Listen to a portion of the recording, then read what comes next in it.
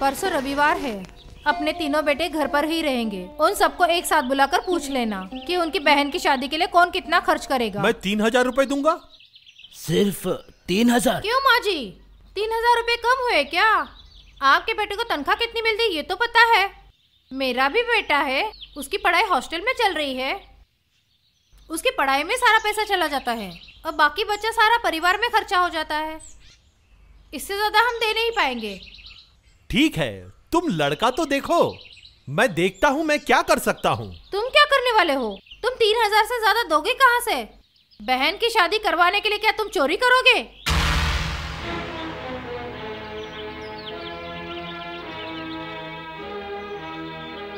वरुण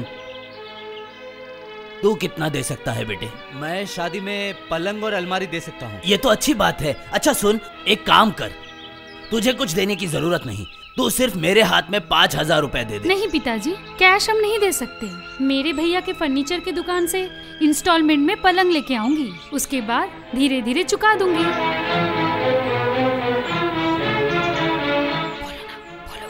तरुण तुम? हाँ? मैं भी कुछ दे दूँगा। वो मैं ब, ये ये क्या ब- कर ब- रहे हो अलमीरा। हम अलमीरा और हाँ। ड्रेसिंग तुम लोग भी पैसे नहीं दोगे? कैश चाहिए? अलमीरा और ड्रेसिंग टेबल के बदले हम भी बड़े भैया की तरह तीन हज़ार कैश दे देंगे? तुम्हारे बहन की शादी है। तुम लोग अगर इस तरह से बात करोगे तो। बेटी तो आपकी है पिताजी। दूसरे के कंधे पे बंदूक रखकर अगर आपको तो सोचना चाहिए था। आपकी तो खुद की बेटी है। अगर आप थोड़ा पैसा तुम बचा ठीक ही तो कह रही हो। मेरे पास जितनी ज़मीन बची हुई थी एक एक करके उसमें जहर के पेड़ उगते गए। तुलसी के पेड़ के बारे में एक बार भी नहीं सोचा मैंने। क्या? हम लोग जहरीले हैं? सुना सुना आप लोगों ने?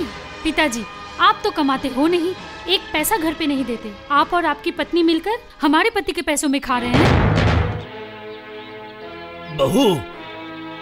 सिर्फ़ क्या खाना ही खाते हैं? आपके सिगरेट के पैसे माँ के पान के पैसे सब तो हम ही देते हैं। और देने की ज़रूरत नहीं। अच्छा पिताजी एक बात का जवाब दीजिए। क्या मैं आप सबके लिए एक बोझ बन के रह गई हूँ? अब तुम यहाँ क्यों आए बेटी? तुम जाओ तुम जाओ। जब बात मेरी शादी की हो रही है तो मुझे तो आना ही था ना? सुनिए मैं आप लोगों को साफ़ साफ़ कह देती हूँ मेरी शादी की आप किसी को कोई चिंता करने की ज़रूरत नहीं। मैं अपना बंदोबस्त खुद कर लूँगी और भैया भाभी आप अच्छे से सुन लीजिए। आप लोगों के जो जो काम मैं करती हूँ वो काम करने के लिए अगर हम काम वाली रखे तो तो उस काम वाली को आप सबको कितने पैसे देने पड़ते थे?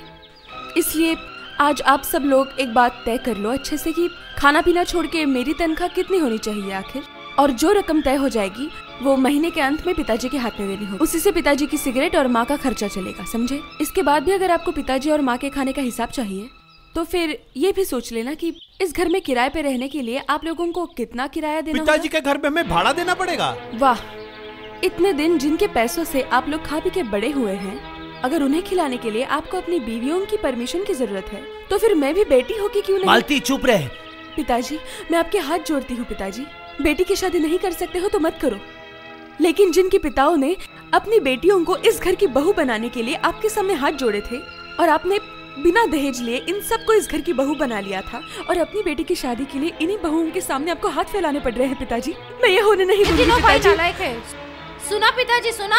अपनी बेटी की बात सुनी ना आपने? मैं इनको नहीं सुना रही हूँ मैं आप लोगों को सुना रही हूँ। जो लोग आज माँ के आंचल को पराया समझ के पत्नी के आंचल में छुप गए हैं, जिनके लिए माँ बाप से बड़ी बीवी बन गई है। चुप चुप चुप चुप बैठ मालती। नहीं पिताजी आप आप मेरी शादी के लिए इनके सामने हाथ मत फैलाना। अब चलो नीचे। ठीक है आता। हूँ आता हूँ बेटी आता हूँ। चलो नीचे मेरे साथ, में जा रही जाओ।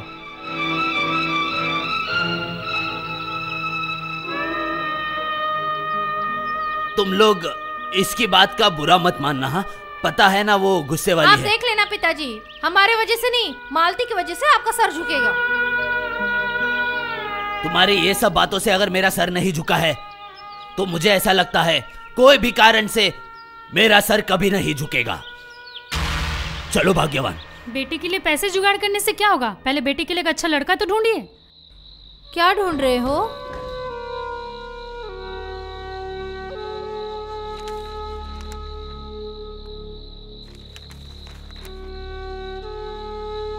अरे बताओ तो सही। इंद्रनील का पता ढूंढ रहा हूँ। इंद्रनील? वो कौन है? भूल गई तुम। वो जो एक्सीडेंट में माँ बाप के गुजर जाने के बाद एक छोटा सा बच्चा जिसने हमारे पास रह के पढ़ाई लिखाई की। ओ बबलू? उसका दूसरा नाम इंद्रनील है ये मुझे पता नहीं था। पहली बार सुना। नहीं नहीं तुम शायद भूल रही हो। तुम्हें याद नहीं। हाँ हो सकता है। तो अचानक तो इतनी रात को उसका पता ढूंढ रहे हो? पिछले साल दिवाली के वक्त हमारे हेडमास्टर मिथुन चक्रवर्ती वो इंद्रनील से मिलके आए थे।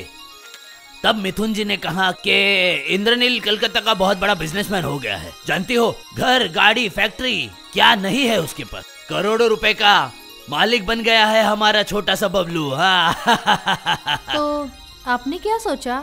बेटी की शादी के लिए इसके सामने हाथ फैलाओगे? नहीं नहीं नहीं। हाथ फैलाने नहीं जा रहा हूँ। मिथुन जी जब मिलके आए थे ना तब इंद्रनील ने मुकुंद के हाथ में मेरे लिए एक चिट्ठी भेजी थी। तुम्हें तो मैंने शायद दिखाई थी। उसमें उसने ये लिखा था कि कि आज मैं जो कुछ भी हूँ वो आपके वजह से हूँ। मुझे वो आज तक भूल नहीं पाया है। वक्त ना मिलने की वजह से नहीं आ पा रहा हूँ। बार बार माफ़ी मांग रहा हूँ। अगर वो चाहता था तो इतने सालों में एक बार आ सकता था ना? चिट्ठी ऐसे ही लिख दी होगी। वो तुम्हें पहचानेगा ही नहीं। नहीं नहीं। मैंने उसे पढ़ाया लिखा है। मैं जानता हूँ वो कैसा आदमी है।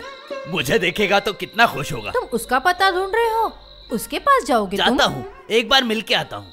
उसके साथ तो हज़ारों इंसान की जान पहचान है।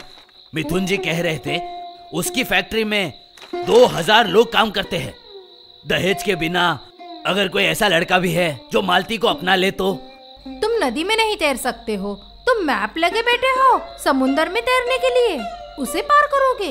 नहीं नहीं ये सब हटाओ। मुझे बिस्तर लगाना है। ये रही वो चिट्ठी। चक्रवर्ती इलेक्ट्रॉनिक्स तारा